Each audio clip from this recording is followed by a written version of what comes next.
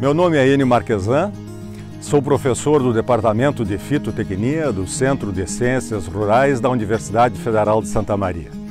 Hoje estamos apresentando parte dos trabalhos que realizamos no ambiente de áreas de arroz, como a importância das plantas de cobertura no sistema.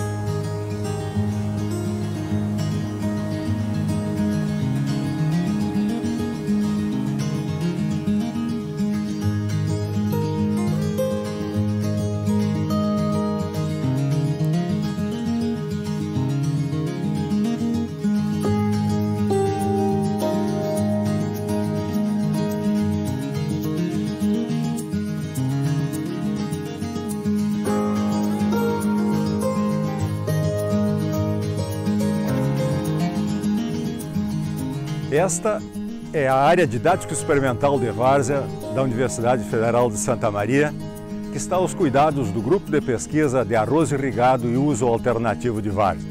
Começamos os trabalhos nessa área em 1991, quando sentimos a necessidade de termos uma área física para instalarmos os nossos experimentos de modo a que pudéssemos cumprir o tripé missão da universidade, que é o ensino, a pesquisa e a extensão. Adotamos a estratégia de buscarmos recursos junto à iniciativa privada e órgãos públicos através de projetos e parcerias para que pudéssemos implantar os nossos experimentos e com eles conseguirmos ministrar as aulas práticas e a partir daí também fazermos as nossas ações de extensão.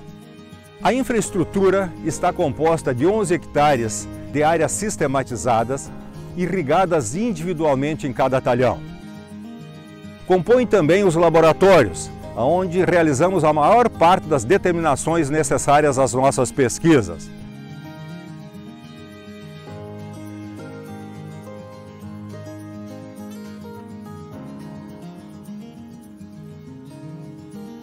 Áreas de apoio que nos auxiliam com máquinas, com equipamentos, com insumos, enfim, o que nós necessitamos para a instalação dos experimentos, inclusive uma sala de aula.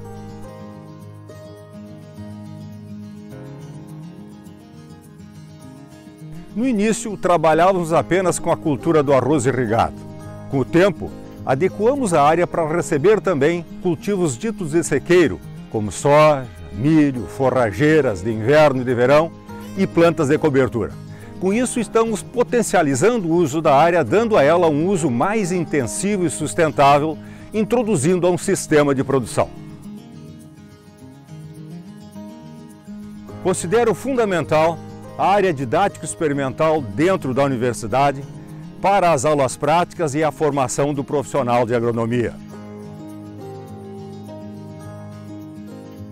Essa área que nós estamos olhando aqui, é, ela foi escarificada em setembro de 2019.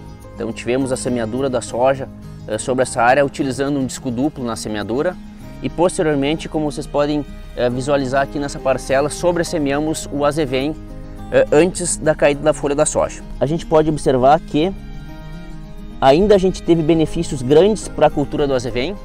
A gente pode visualizar aqui que nós temos um desenvolvimento radicular do azevém em profundidade superior a 30 centímetros.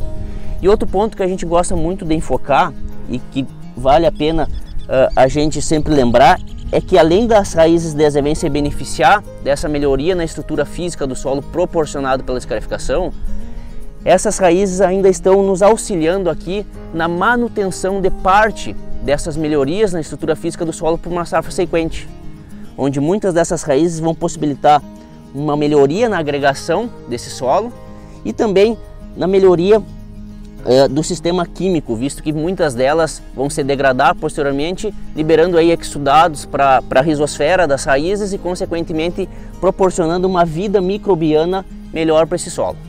O exercício do fazer, do medir, do avaliar, faz com que os alunos percam os seus medos, vá adquirindo confiança e a capacidade de se reinventar e se recriar perante situações não clássicas, melhorando seu desempenho para o exercício profissional.